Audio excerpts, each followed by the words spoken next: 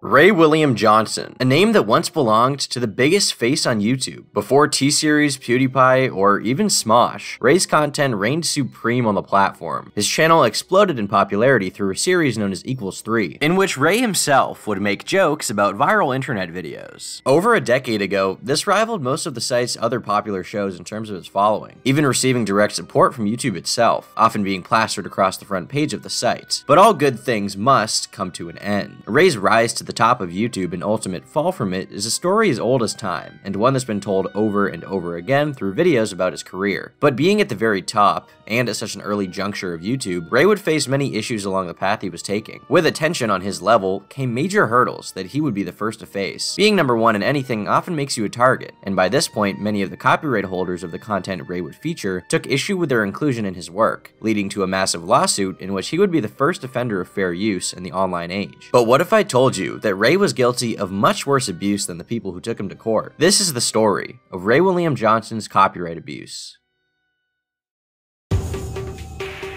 Takedown after takedown, Ray would experience more and more frustration at having his content attacked, with the issue hitting its apex in 2010, becoming highly visible to others on the outside who would discuss it and talk about flaws in YouTube's copyright system and the companies that used it to their advantage. The person who created that video filed a DMCA claim against Ray William Johnson.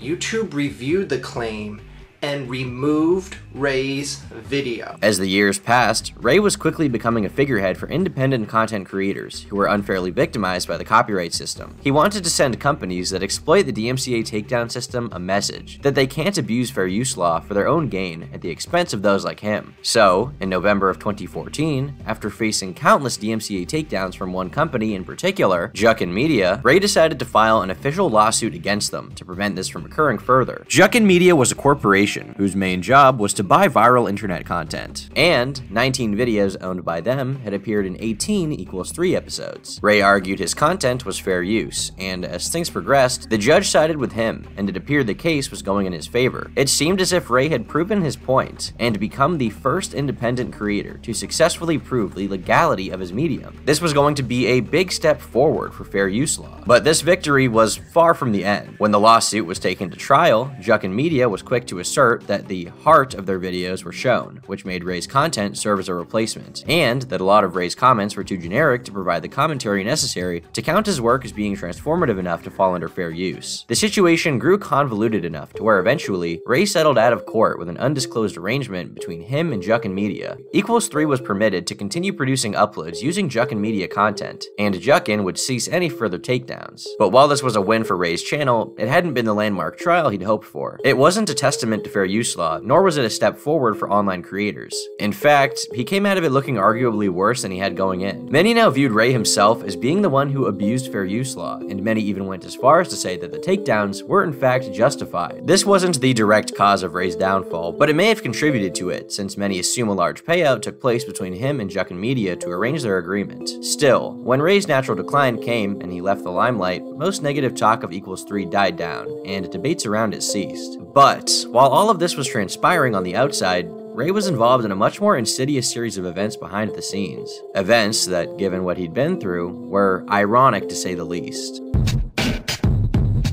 In 2013, a new YouTube channel emerged, known as RWJ without RWJ. As the name may already suggest, it would upload clips of Equals 3 episodes without Ray, which was just the original viral content that Ray would react to. The channel sat with around 100 subscribers, but despite being obscure, one day its owner revealed that he'd had four videos blocked for copyright violations, and that the claimant in question was listed as none other than Ray William Johnson himself. This is, despite the fact that his own presence was removed from these videos, and that he himself didn't own the rights to the clips shown on Equals 3. From here, things only get more convoluted. Two years prior, Ray had put out a tweet saying three emails using his name were fakes, and one of which belonged to Ray William Johnson at gmail.com. This was the email issuing the takedowns, and Ray's tweet about not owning it had been deleted by this time. Whether this account had actually belonged to him or not was unknown, since Ray had never actually directly responded to the situation, but many assumed it wasn't possible to issue takedowns on behalf of Ray's content without being tied to him directly. We do have one interesting piece of information, however. Thanks to a data leak in 2014, we know that this email had been previously used to sign up for a bit.ly account, which Ray himself was known to have signed up for two years before the leak. At this point, people had circumstantial evidence that it was him. In response to the takedowns, the creator of RWJ Without RWJ uploaded a video titled Ray William Johnson, a Hypocrite, and discussed these events to the audience on June 20th, 2013. A few small commentary channels at the time would quickly take notice, such as the Archfiend, Undertaker Freak 1127, Craft Nation, and Mr. Ludacris. All would begin talking about it, pointing out the fact that they believed Ray's own work violated others' copyright, and yet he was getting away with it while simultaneously attacking someone who wasn't violating his own. Four of his videos were taken down due to a copyright complaint from Ray William Johnson. How does he magically have the copyright? And how does he magically have the right to claim copyright infringement for them from somebody else? What? Am I am I missing something here? He wasn't even in the video, so he doesn't have, even have the basis for a privacy complaint. This situation proved controversial for a variety of reasons. Whether Ray's own content violated fair use or not was never directly determined by the court system, and many would argue that RWJ without RWJ did, in fact, violate copyright law against the clip owners. Still, Ray having issued these claims on his own behalf was the root of the issue, and especially against such a small channel that wasn't affecting him with its content, all while Google and YouTube allowed him to do so. It seemed like an unnecessary abuse of power, and this was the point most raised. Although, much of the controversy would lay in a moral gray area, and combined with the fact that Ray was still vastly well regarded, the drama didn't travel very far. Most brushed off the comments made by those talking about it, but amidst the discussion, the situation worsened. RWJ Without RWJ posted another video titled Ray William Johnson Blocked Me, where he discussed the situation further and showed a 2 to 3 second gif of Ray while doing so. However, this too was taken down, despite the fact that it was wholly original content, and the segment of Ray shown would fall under fair use. Stranger still, when viewing the strike details, this takedown claims that the copyrighted material was from a video titled Ray William Johnson Blocked Me, which is the same title as the video the strike was issued to. But this is the only copy. How would Ray have access to the copyright on a video that he did not create? This seemed to suggest that in order to have RWJ without RWJ's video taken down, Ray downloaded it and put it up as a private re-upload on his own channel in order to enter it into the Content ID system for himself, then strike the original, claiming it was infringing on his copyright. The channel's owner then posted another video revealing this, and angrily discussing the ethics of the takedown. This brought him up to two copyright strikes, according to the screenshot shown in the video, and by June 29th of 2013, he uploaded one more titled, We Are at War, which side are you on? Where he discusses the situation further and urges subscribers to flag raise videos, something which likely contributed to the events that would follow. The next day, RWJ without RWJ received a third strike and his account was suspended. No strikes were ever successfully appealed, and it remains offline to this day. He would return with a new channel the following day, but this too would be terminated less than two weeks later on July 12th. With the accounts gone, discussion about the topic soon died out, and the controversy was soon forgotten.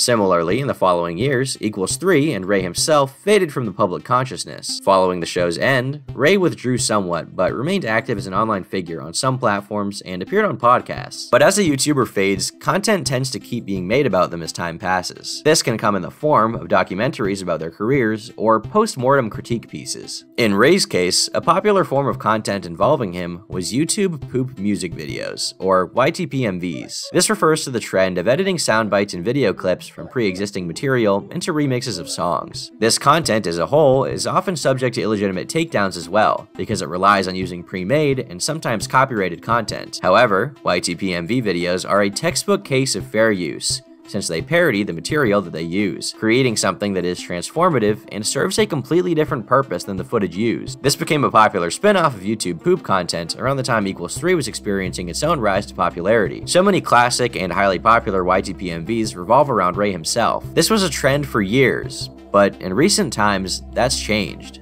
In February of 2018, Ray issued two copyright strikes on old YTPMVs created by the YouTubers Zarlable and Lol Zombies. These were titled Rock My Forum and What's Happening Forum Zone. Much like with the strikes to RWJ without RWJ, the associated email was raywilliamjohnson at gmail.com. Given that Ray had previously said that this email was not his own, Zarlable instantly assumed that this wasn't a claim from Ray, rather the work of some kind of copyright troll. However, the situation didn't end there. Rock My Forum had long since become an in-joke in the YTPMV community, and many other members would use it for edits of their own, leading to many more takedowns. Examples include Main Theme Rock My Forum, and Rock My Forum version 2, both of which were posted on the Silva Gunner parody channel, Vavr, which gave them two strikes and put them in danger, especially since Rock My Forum edits were plentiful on the account. Ray then issued a third strike on April 6th, which nearly resulted in termination. This created unrest in the community, and caused many to re-upload Rock My Forum in direct protest. Subsequently, these were taken down as well. With new strikes becoming common, many members of the community began privating videos relating to Ray or Equals 3, while others investigated the legitimacy of these claims. Ray's now deleted tweet was discovered, and people took notice that the takedown was issued by 3 Inc. The consensus appeared to be split, and some still believe that this was the work of a troll, someone wishing to frame Ray. However, a discussion post by a community member states that in a Q&A stream, Ray mentioned that he no longer wished to be associated with his older videos, and instead wanted to return with new content for a more mature audience. If it's to be believed that these takedowns were from Ray himself, this could be the motive behind it. But the most compelling piece of evidence was that in these claims, Ray is listed by name as the claimant, and that the email was tied to other things that correlate too strongly with Ray to be a coincidence. When Ben, the trusted flagger, someone who was privy to insider knowledge, was messaged and asked about the situation, he told the people behind the Vavr channel that it was Ray himself who was doing it, saying the Gmail associated with the claims was the sign-in for his main Google account. It was at this point that many were made aware of the user's tactic to re-upload videos in order to put them into the claiming system, something which had also occurred five years prior with RWJ without RWJ. As the backlash began to reach its apex, the claimant eventually backed off, and the strikes on both the Vavr account and its re-uploads were appealed, reinstating the channels. Still, the original upload of Rock My Forum had its own appeal rejected, and the same applies to many of the other strikes. The situation settled for a while before the claimant had found a new target. This time, it was a small YTPMV user known as Flutterflutter. Three simultaneous strikes were filed for meme edits of Rock My Forum and What's Happening Forum Zone. The account was terminated, but more strikes continued even after this, presumably to keep it offline if the strikes were ever repealed. At this same time, a friend of Flutterflutter's known as Pants Mode was also struck and deleted for these same reasons, with others quickly following. Another video taken down at this point was called The Last Rock My Forum Joke by a user named Rosie. This takedown in particular was for using an unedited visual from Ray's video, Oh My Gosh. It was due to these events that Flutter Flutter would go on to be known as one of Ray's most outspoken critics, gathering much of the information about his obscure copyright controversies is on record today.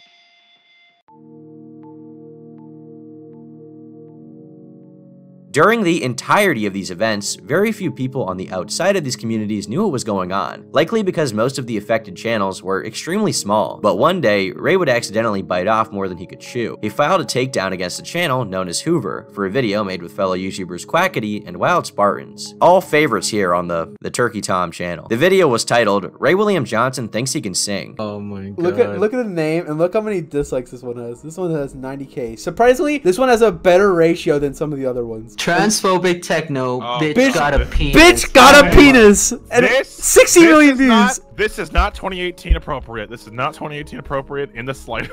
Dude, As with most takedowns, he would privately upload a copy of the video on his own channel to enter it into the Content ID system under his name. But, unlike his prior targets, Hooverr was a member of a community with connections, which had been very outspoken against fraudulent claims in the past. He posted a response called, Ray William Johnson took down my video, emphasizing the fact that the full duration of his video was claimed, including his original segments. took down the fucking video. Now, I have no idea why he did.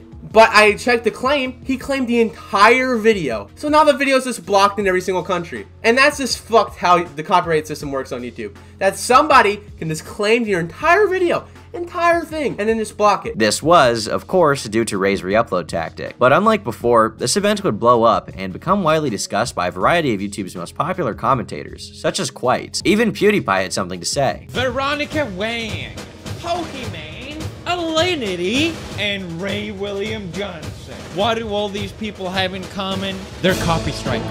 That's right. All these people have history of copy striking videos. This was the first and only time Ray would face backlash for any copyright takedowns issued in his name, but during the entirety of the situation, he stayed silent on all social media, as he always had. Nevertheless, the backlash ensued as more influential members started calling him out. Likely due to this, Ray decided to release the claim and calm the situation. This was revealed when Hooverr posted a video updating viewers on the entire thing, wherein he also claims to have emailed Ray's company, who responded and retracted the takedown, confirming their direct involvement. But even after the community rallied against him and the drama saw widespread circulation, Ray's history was never touched upon by anyone who discussed him, and most considered this takedown to be a one-off incident. Few knew this wasn't the first, and what's even more surprising is that it wouldn't be the last. Despite having experienced massive backlash over the Hooverr takedown, Ray's copyright striking resumed almost immediately and became even more plentiful. Less than a month later, Flutter Flutter received another strike for a YTPMV called Ray on the Moon, using Ray's same tactic of privately re-uploading it. It was appealed after a month, but two more videos were struck following this, Rock My Forum New Day and God Your Mom,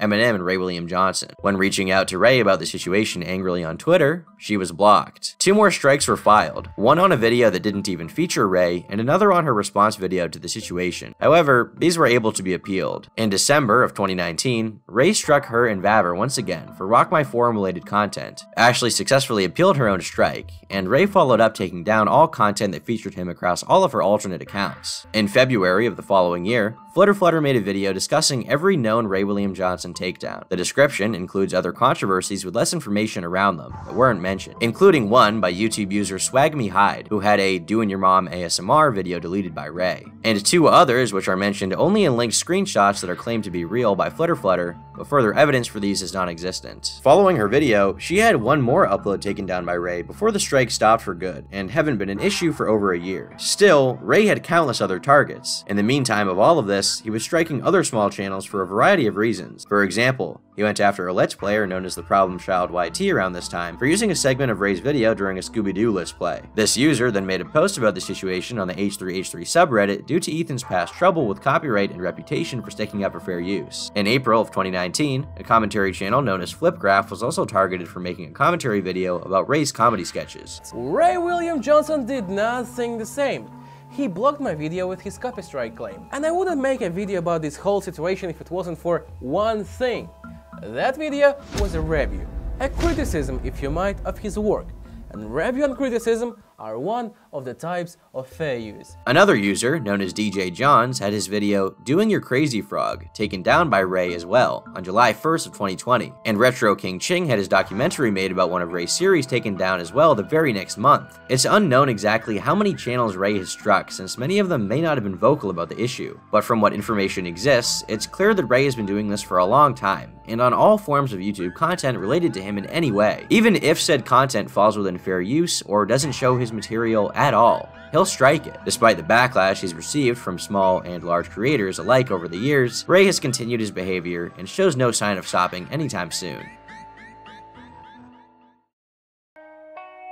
In his history, Ray built a YouTube empire by pioneering a new form of content and was able to reach the pinnacle of stardom on the site. But, despite facing countless hurdles along the way, battling takedowns from copyright holders both on YouTube and in court, Ray has adopted the same tactics as those he wishes to oppose. He went to trial to fight the same takedowns that he dealt others in the years following, and even years preceding the court case, all while his own content teetered the line of copyright infringement, while those he went after were well within their rights. In most of these cases, their content was was very clearly an example of fair use law in action, something that Ray claims so strongly to uphold. But as it stands today, Ray has taken down countless channels, sometimes permanently, scared an entire genre of YouTubers into not speaking about him or his content, and become the very thing he himself fought so hard against during his entire career. Even though he's been held to ridicule for it, it seems that some things will never change. The entire community spotlighted his behaviors, and yet he returned right back to them less than a month later. Ray does not consider fair use law. Ray does not consider the well-being of others, even when they face struggles that he shared. Ray does not consider how putting down others through the same struggles puts him in the wrong.